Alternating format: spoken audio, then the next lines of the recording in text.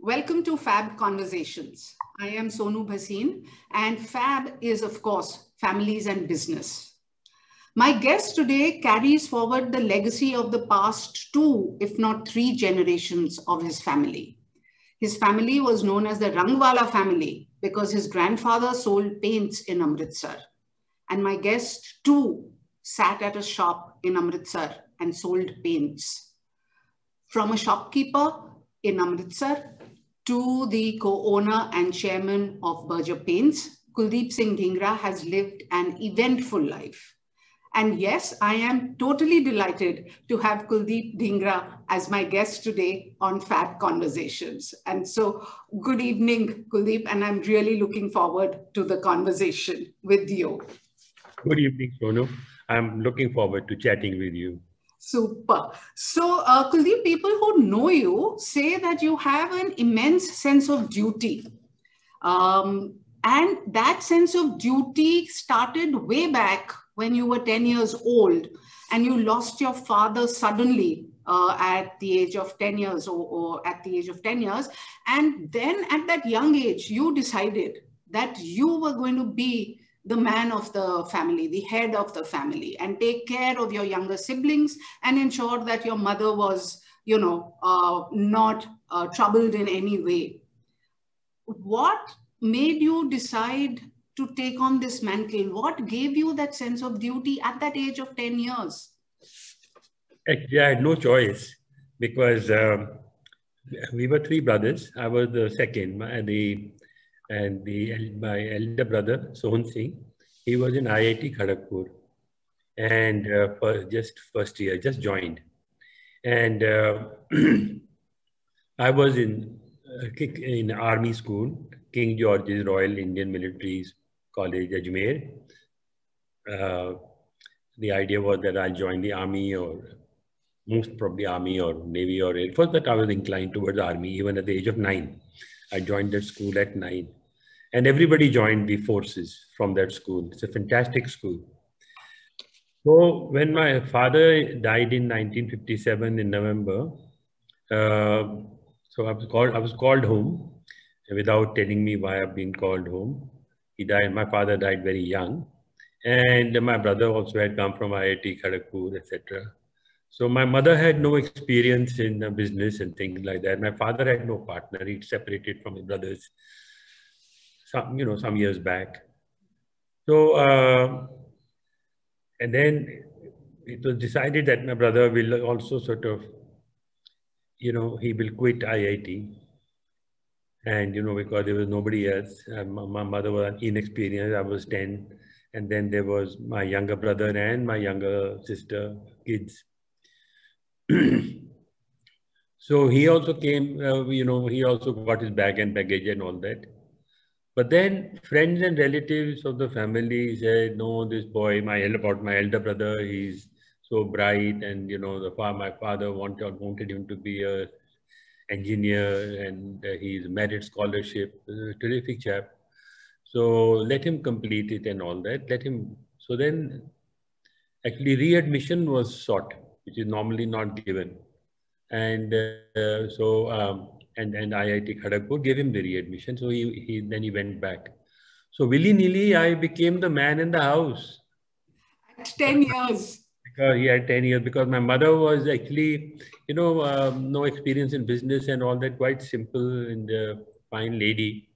And uh, so, and my two year younger, you know, siblings. So therefore, with my brother having gone to back to IIT for the next, you know, four years, uh, so the, then I became the man of the house for the four years. That's that. That's how it happened. It came. It just came on my shoulders. The responsibility. And and uh, from what I've heard from your brother and your sister, you took your responsibility very seriously because you did ensure that they studied, they did not spend time too much in playing. Um, so, yes, uh, you did take your duty very seriously. Did it cause you personally any, um, you know, thoughts or did it cause you any concern? Because you were, after all, 10 years old. No, uh, the point is, um, I I did not do anything for them differently than I was treating myself. I also very serious about studies and also that, you know, I, uh, sports are important. My elder brother also was, you know, very, very good in studies.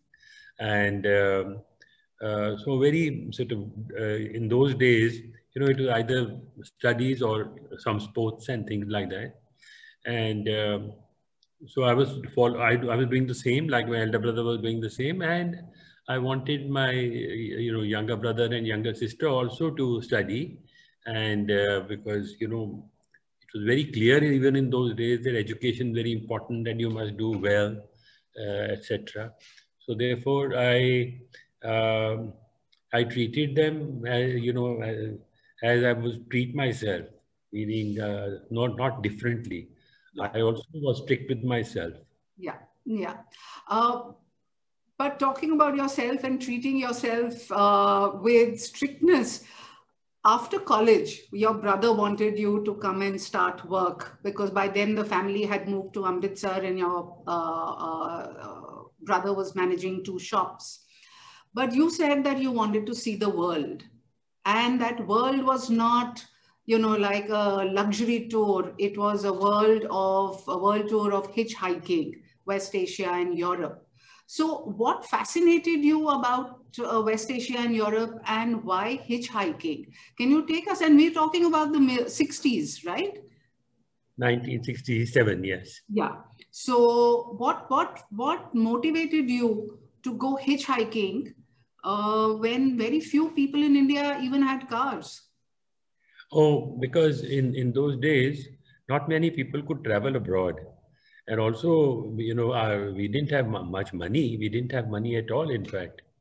And at the same time, after finishing college, I knew once I, I joined business, which means go to the shop and all that. And I know how, uh, you know, how grueling that uh, job is, uh, morning till night, uh, you know, six days a week.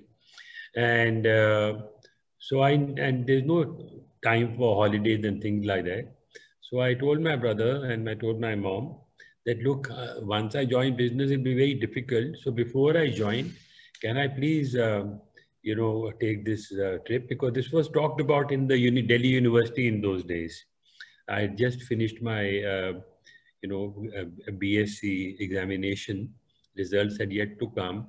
So uh, I said, before I join business, and we heard about this that, you know, it was possible to uh, travel very economically uh, as a, what you call a deck class passenger, uh, because uh, otherwise Indian, uh, India didn't have foreign exchange. So they never, they, there was no question of being allowed to travel.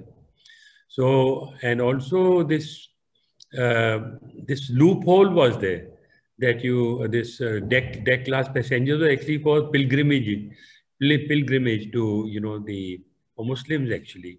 Right. Uh, and but so loophole was there that if you travel deck class, you didn't need what they call a P form or something like that, and they give you just seven dollars or things something like that. So um, so we used that loophole, and me and my uh, one friend, and uh, we uh, went from Bombay to uh, Khurramshahr in, uh, in, in Tehran because we hitchhiking was um, first of all adventurous and then because of lack of money. But but adventure the thrill and adventure also was there. That sense of adventure was there. So that was fascinating. We could not have gone uh, to iran or to europe through pakistan because we were not allowed. Our, our passports were valid for the whole of the whole world, except for South Africa and Pakistan. South Africa because India had banned because of you know sanction, I mean apartheid and all that, and uh, Pakistan because you know uh, of the reason. So therefore uh, we had no choice. And the first, so therefore Khurramshahr, then then we started to hitchhike yeah. to Iran, and then from Iran, and then uh, you know Turkey, Turkey to Bulgaria, Bulgaria to Yugoslavia, Yugoslavia to Austria, Germany, Belgium, etc. Yeah. and back. Yeah. so India itself was a, a, closed economy at that time, right? Uh, yeah. So, and when you named these countries, some of them were behind what was called the Iron Curtain, and some of them were open economies. You, a youngster, still a teenager, not yet 20 maybe, um, how did you see the world differently? When I was in college, like a lot of young uh, youngsters, and even maybe today also, you know, one is, and at that time it's Soviet Union, uh, and his reputation, how they had, you know, how Soviet Union become so strong economically and uh, militarily and uh, things like that. So, and it also seeing the disparity in India. So I was also almost like a, you know, socialist communist. So I, I was quite fascinated with the Soviet Union, communism, etc. And uh, and, and um, I think many many youngsters were at that time, and maybe even now youngsters are um, idealistic from that point of view. So Bulgaria, yes, the first Iron Curtain country which we saw was Bulgaria. It was really Iron Curtain. Foreigners were not allowed uh, over there. But India at that time was almost treated like a communist country. Indians did not even need a visa to go to Bulgaria or Yugoslavia. So, uh, Indians didn't need a visa. And uh, I mean, Indians were, so even we didn't need, the Indian didn't need visa even for Yugoslavia. So, they, so uh, it was also a communist country under, uh, I think, Tito at that time. So, uh, this is 1967 May or April, you know, after the exams. So, uh, um, so then I saw that, you know, then my mind, you know, sort of I began to little bit search that, you know, communism, I was always fascinated, but people are not happy here. Uh, I mean, Turkey, I saw a very different atmosphere. Iran, Iran was also fine. It was under Shah of Iran at that time, but uh-huh. happy country under Shah Hmm. Uh, no issue. Hmm. Then, you know, from, uh, from Bulgaria on to Yugoslavia, which was not as strict as Bulgaria. So I saw a little bit of, uh, you know, openness there, some kind of liberties there, more relaxed atmosphere. And then after that was Austria, which was completely different. So I saw these three shades. And then, uh, you know, uh, my, my, opinion about, you know, uh, communism little bit changed. Yeah. So, uh, so it, it, was quite fascinating. Yeah. And I'm glad uh, it happened because I, I could see with my, you know, I could see myself what communism is and what socialism, a lighter type of uh, so communism under Yugoslavia and then Austria opening open society. Yeah, it's yeah. interesting. Yeah. So after your months of hitchhiking and spending uh, months in, uh, uh, I think, Holland and Paris, and we shall uh, leave that for the time being. But then you came back and you started work immediately in Amritsar. And now that you talk about it, you know, sitting in Amritsar shop and selling paints, you almost kind of romanticize it you when you talk about it. But I'm sure it wasn't easy. I'm sure it was very difficult, but you did well, didn't you? So no, it, are there any learnings from that time that you carry even today with you? You know, it was uh, also interesting, and I, I knew this was my destiny, the shop. Like my uh, great grandfather uh, and my grandfather and my father. So, shopkeeping was there. So, therefore, this was my destiny. I made for that. So, I accepted it like uh, it was, I, I always knew that I'm, I'm going to be a shopkeeper. So it was quite comfortable in those shoes and in that role.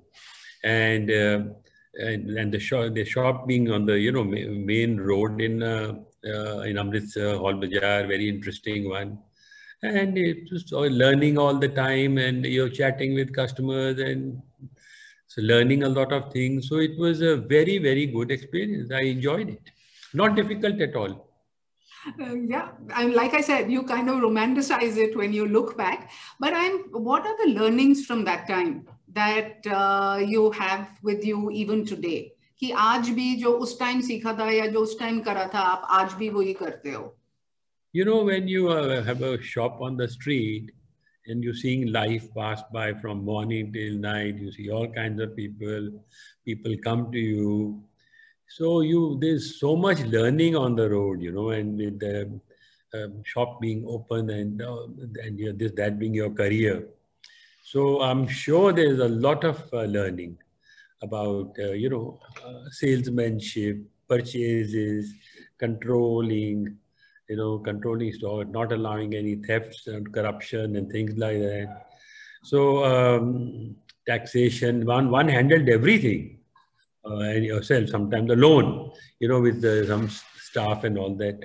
So there's a huge learning uh, being a shopkeeper. And in um, in both the shops, I we had two shops then by that time. So uh, I used to even go to the other shop which was from 1898 near the Golden Temple. So uh, again, a different atmosphere there, different smells, different, you know, uh, and lovely things to eat all around.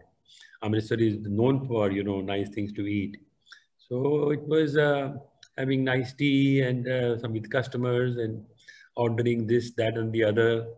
So also, you know, having fun all day and yet uh, selling yeah. So it was, it was a very good experience. Yeah. And, and I'm sure now that, you know, since we own Berger now, and Berger's main strength is dealers. So I, I can tell them, you know, how dealers look at things. I've been on the other side. So I, we have given a lot of inputs to, I have given a lot of inputs to Berger. To the dealers. To the dealers. So then, you know, from selling paints to Indians, you became the largest seller of paints to the Soviet uh, Russians. And it is, I think, a well kept secret that you were the single largest exporter out of India to the Soviet Union in the 80s, right? But the start of your export business was rather innocuous. Uh, it was almost happen chance that it happened. So can you please tell us how did it start? And uh, how did it then uh, how you know uh, how did you realize that this could grow into something? Or did you realize that it could grow into that mega export business? No i didn't take it so seriously. You're absolutely right. It's pure destiny pure good luck because i almost sort of uh, lost it. Because i got a call from one mr galgotia uh, mr galgotia I, I think uh, is uh, same family as the Galgotia bookshop and all. So it's the same family, and Connaught Place a famous one, Galgotia. So Mr. Galgotia was a partner with one Mr. S.K. Jain and one S.L. Jain, the most senior partner being Mr. S.K. Jain. So Mr. Galgotia called up. He said, I'm speaking from Jyoti Impex uh, from Connaught Place, Ansal Bhavan. And uh, we are, you know, big exporters and we deal a lot with Soviet, Soviet Union and there is a requirement of uh, synthetic enamel, white. Uh, and uh, uh, would you please, um, uh, and if you, and these the specifications, and if you ha have these, you know, then, then can you sort of, can, can we talk and all that? So he sent the specifications and there were, you know, the normal synthetic enamel specifications. So uh, I said, uh, no, no, it's not a problem. We have that ready stock. We sell it every day. It wasn't even to be made for them. So he said, can you send me, you know, uh, three boxes, you know, of six liter each, uh, something like that. So uh, I, I, said, uh, as samples. I said, you don't have to, you have to pay for them. I said, I'm not going to give you free samples and all. He says, he said, the order is for 50 tons, metric tons. So I said, uh, you know, anyone can tell me that I've got export order and take samples from me and start painting their house. So I said, I, will send you the material, but you pay the person, uh, etc. And I will give you a discount a little bit. So he said, fine. So, so they, Mr. Galgotia then, you know, paid for it. Then they sent the sample to Russia or, and uh, they got um, the clearance that it's, it passes all the tests and all that. and we got this 50 ton metric ton order, which is the biggest order of our lives at that time. One order for 50 metric tons against virtually advance payment uh, of white synthetic enamel, which was to be used in, this is 19, uh, 19, uh, this is the Moscow Olympics, right? Yeah, 19, 1977, 1978. Hmm. 1977 was this uh, discuss, discussion, 1978. They were preparing Moscow for Moscow Olympics 1980, trying to make it more beautiful. So it was for that purpose. And uh, so we were able to, we, we got this order from Jyoti Impex. And then uh, uh, uh, and we, we, executed the order pretty quickly because we were so excited and it was uh, uh, sent much earlier than they could ever imagine. They were very happy, Russians were happy and they gave us another order. So, uh, so that's how it started by luck yeah. and grew to 20,000 tons per year uh, business with for paint alone. And, and later on they kept on, you know, I mean, they they started adding more item, more products. Uh, first connected with paint, with the, you know, the, the uh, dyes and pigments and additives. So, uh, and then later on, even extending to household chemicals and very, very, large number of products. And not only one company, which was a chemical one, then the word spread and other organizations uh, started to buy from us. So yes, it started by very, very uh, small and uh, unexpected. I didn't pay attention because we were focusing on uh, domestic business, which was doing very well also. Uh, and uh, but I, but you're right. I kept it a secret because I didn't didn't want you know competition to uh, think that is very attractive. When they found out a little bit, and uh, they ended up giving us 100% of the paint business from India. Yeah. So uh, it was very uh, fascinating, and uh, I, I, kept it a big, big secret. Yeah, yeah, yeah. But you know, those must have been really heady days for you because you were being celebrated and feted by the Soviet Union people, and you were chased by the Indians who all wanted you to give them orders for export, right? How did you keep your sanity? Oh, it, I had lots of, I had colleagues. Like, uh, for example, the, uh, the suppliers were handled by, you know, uh, by, by, by uh, senior colleagues in my company. I had engaged people for testing quality, people for giving orders, people for negotiating with the suppliers and terms and all. So therefore, the work was delegated very nicely. Yeah. Uh, so they were, uh, it was the back end, which means the Indian side was virtually delegated yeah. to. So my job was only to get the orders, which was the most difficult thing and most important thing. Once you got the order, then you know everybody, the suppliers were dime a dozen, margins were no problem. Government was giving huge incentives, payment was virtually advanced, almost like advance. So it's very secure, and businesses were big. So therefore, that was the, so the, I focused therefore on dealing with the uh, with the uh, so, uh, Russians, so within in Moscow.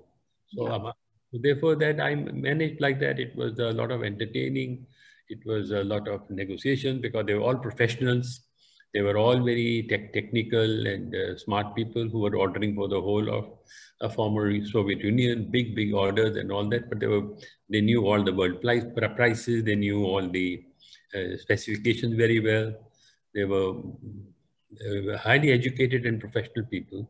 Yeah. And uh, so it was um, uh, interesting dealing with them, but they were very, they basically, uh, Sonu, they basically saw that I, they were, I would not cheat them. I was being very open. I would not tell lies. I would not take advantage and I would I, I, always met my delivery schedule, gave the right prices, no quality problem, etc. So they were actually, I got rewarded for actually uh, uh, being a good supplier and a very reliable. In fact, they said the most reliable one. They haven't met anyone like me. Yeah. So let me, you know, just digress a little because when you say that you were rewarded for being a good uh, supplier, but uh, in my experience with dealing with family businesses, you know, it is the family values that uh, get the people to behave in a certain manner. So, uh, would you say that you were rewarded for following your family values?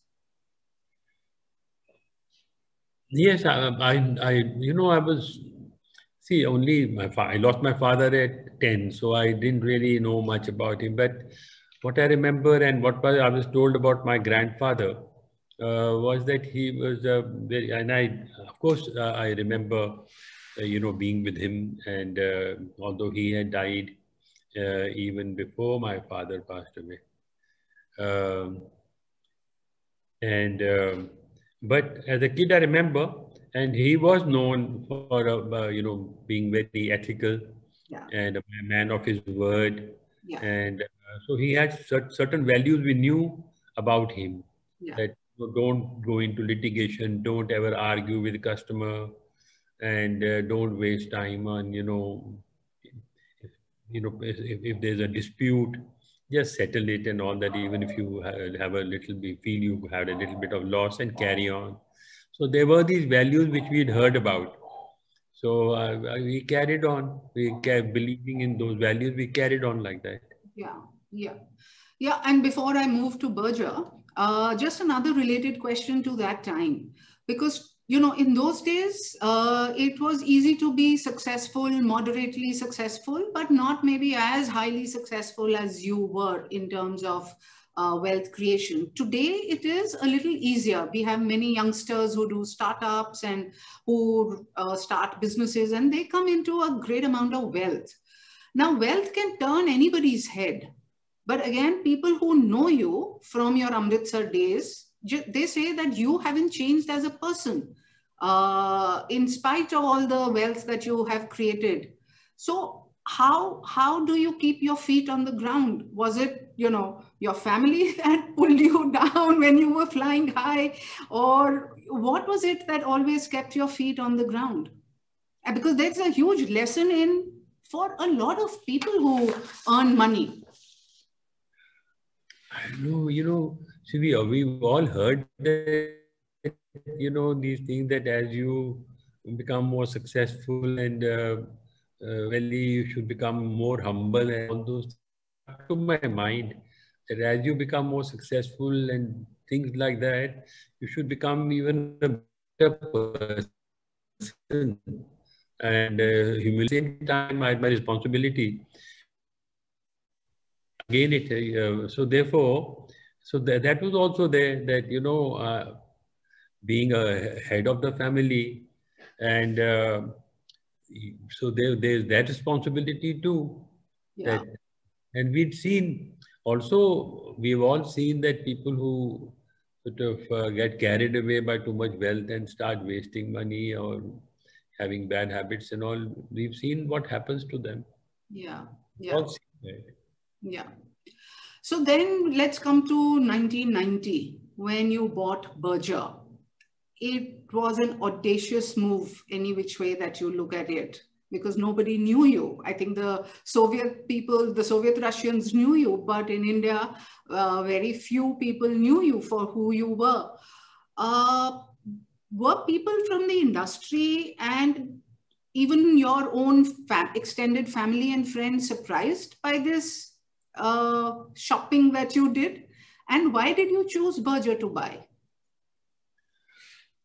You're right. Uh, everybody was quite shocked because, you know, uh, com coming from a shopkeeping background to try and own a listed company in Calcutta, which is professionally managed, whereas we were used to, you know, hands-on operations, managing a shop and managing, uh, running our businesses ourselves not having uh, professionalized uh, our, our, company so much.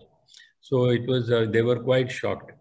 But the reason for, um, um, you know, my buying Berger from Mr. Vijay Mallya was that by having started small, but having dealt with the Soviet Union, up to 1990 it was there it kept on becoming big and big so therefore the numbers i was used to was huge, meaning thousands of tons and crores of, you know, in crores and all that. You're right.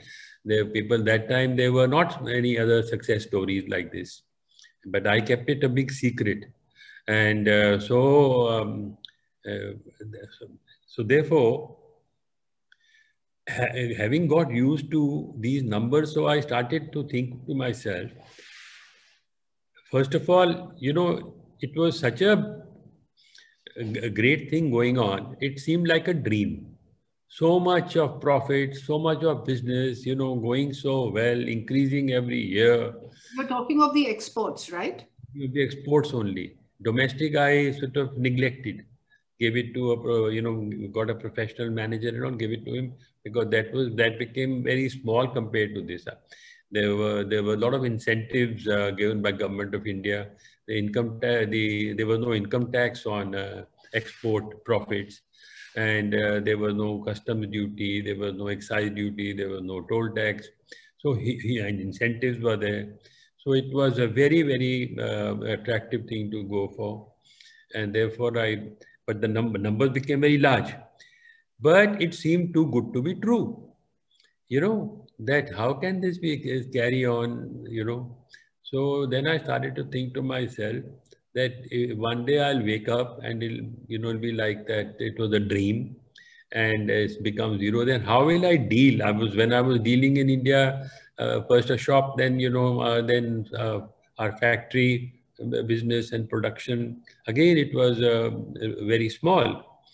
And but, but now, having tasted these big numbers, I said, suddenly, if this Soviet Union dream, you know, gets over one day, and then how will I deal? About what will happen to me psychologically? So, uh, and therefore, uh, when this opportunity came to buy Berger, uh, then I said, let's buy this because if Soviet Union dream, you know, gets uh, over for one reason or another, because I couldn't believe that year after year this will carry on, then at least I'll have something, you know, little, little bigger to sort of look after. Uh, rather than you know uh, this little domestic business that I have, which has become very small. So for that is the reason that to to deal with post-Soviet Union scenario, which was not in the offing. But it was my own uh, thinking that how can this carry on, this fantastic, you know, stroke of luck carry on forever? It's, everything, there's an end to everything. Yeah. So this was just a, yeah, as a, as a fallback situation that I bought Berger. Yeah. And, you know, ever since you did buy Berger, you've made many acquisitions as well, but they're all related to the same business, the paints and extended paints business. Why have you not diversified? Having been in the paint business, you know, with the history going back to 1898, I'm the fourth generation. Fifth is already in. So, so having seen the paint business, what we saw was that you know, it's a highly competitive business, highly competitive business, and there was no protection uh, to this business, unlike other business in India post-independence. So there were already multinational paint companies here, etc. So there was local competition, multinational competition, no protection, no license raj, etc. So uh, then uh, what, what I noticed, observed was that if, uh, if, you are, if you were a diversified uh, you know, group with paint being one of the businesses. Uh, then I, I, saw that, you know, those, those people uh, failed in the paint business. Um, every big business family in India had big paint businesses, but they had other businesses too. Everyone. I mean, uh, so they all had paint business. One by one, they closed. So there's a grave, graveyard of paint uh, businesses in India. So, so I realized that if you are going to uh, have businesses other than paint, then you will not succeed in paint. And therefore, uh, I decided that I will just focus on paint because I've not seen, um, even globally, I noticed that, you know, uh, the, uh, the paint companies which are successful even today are the ones who are only in paint If you diversify, then your, you know, your mind gets diverted, etc. Paint needs a lot of uh, uh, passion. It needs focus. It doesn't, it doesn't allow you to look here and there. So what I hear is that focus, focus, focus is all that is required for success. Uh, uh, you've spent your life in paints. What excites you even today about this business? And this is my last question. So no, this is an exciting business because it's uh, uh, changing every minute. Being being chemistry, it's uh, the formulations are changing, raw materials are changing, so production processes, uh, inventions are taking place.